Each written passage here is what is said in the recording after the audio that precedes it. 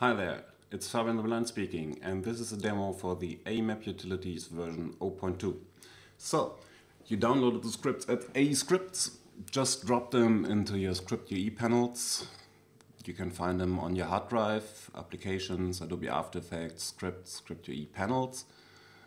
And if you're on Windows, just get the path from the overlay. If you're not sure how to install scripts, uh, just have a look at the tutorial on aescripts.com. So, you drop them in there, then you can find them under Window, AEmap Utilities, and here we go.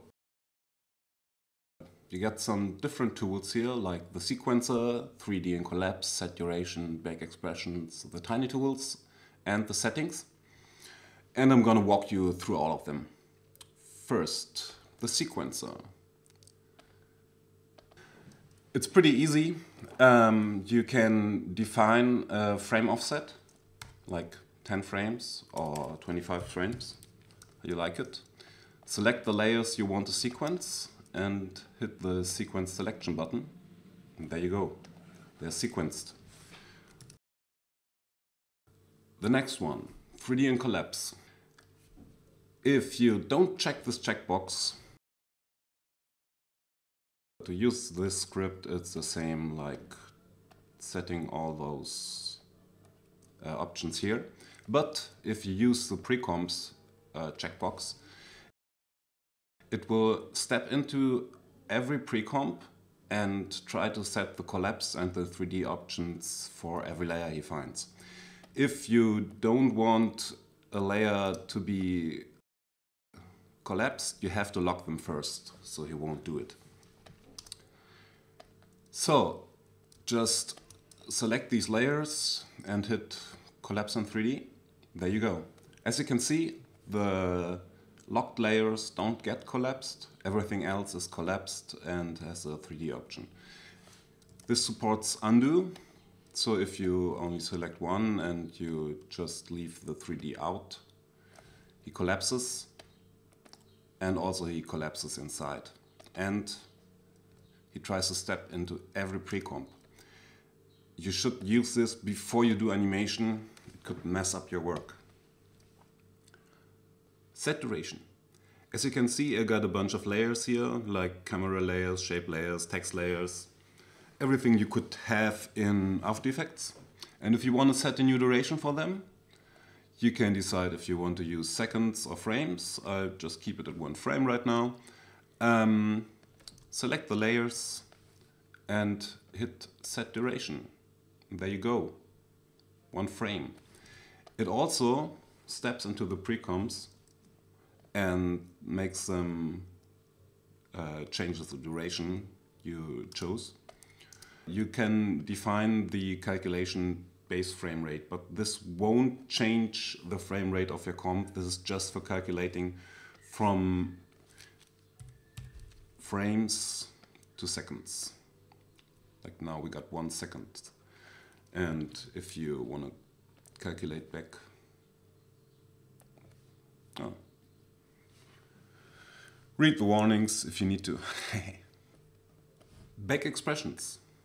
If you have some expressions you need to bake because they're hogging too much render power, just select the layers you want to bake, uncheck the checkbox and hit Bake Expressions.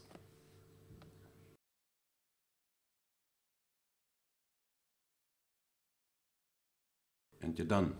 This supports also undo. If you want to uh, bake only some specific expressions, just check the checkbox, select the expressions and hit Bake Expressions. And there you go. You only bake the ones you needed. Pretty easy. The Tiny Tools. With the Tiny Tools you got some one-shot scripts that do some tiny work for you. First of all, name to source. You have some layers with a, a different layer name than the source name. Just select them in the comp, hit name to source, and as you can see, they changed their name, changed their name in the projects panel. The source to name does the same thing, but he takes the name from the project and gives them to your layer in your comp. Pretty easy. Mark up a frame. You just have to set your work area, how you want it, hit markup a frame, and he adds a markup per every frame. Markup a precomp. If you have a precomp with some layers in it, and you want to see where they start, just select the comp you want and hit markup a precomp. And as you can see, he made a marker at the endpoint of every precomp and uh, added the name of the layer to it. Zorro to text. With Zorro to text, you can dump uh, Zorro comments into your comp as text layers. For that, if you want a special text type, just set your character settings first.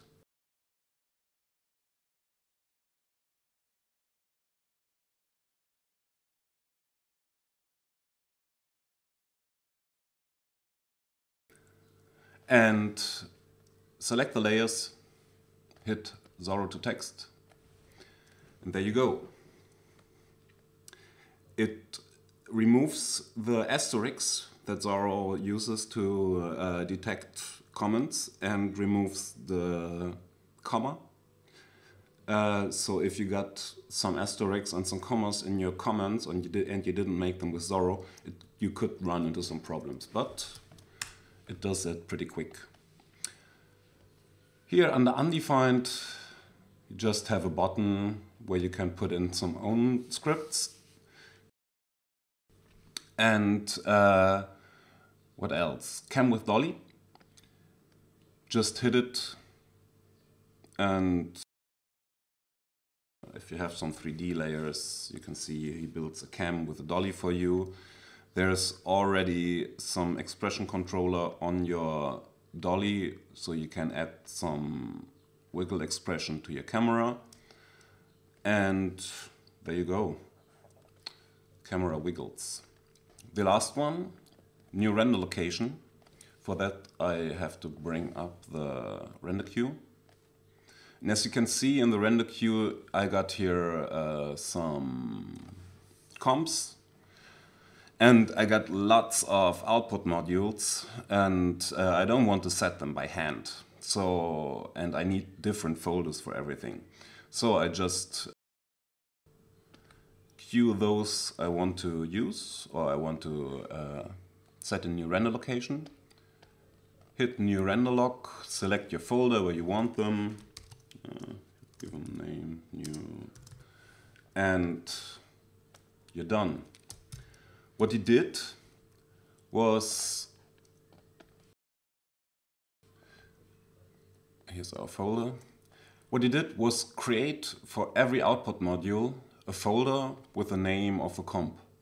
So now everything is gonna get go in there. If you already have a folder where all these folders exist and you hit again your render location, select the output folder already exists with his uh, subfolders. He won't create new folders. So he will take the folder that is there with the same name. And the last one, the settings. First of all, you have to allow the script to access the network and uh, so he can open the online help and that's what the settings do. You hit it and you will be directly uh, and he will directly open the online help. That's it. Have fun, fiddle around with it and if you make something beautiful, just show me.